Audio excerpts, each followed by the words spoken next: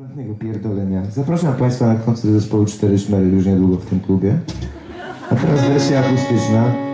A ponieważ tą piosenkę od pewnego czasu dedykuję mojej kobiecie Małgorzacie, nie może być inaczej. Dla Gosi.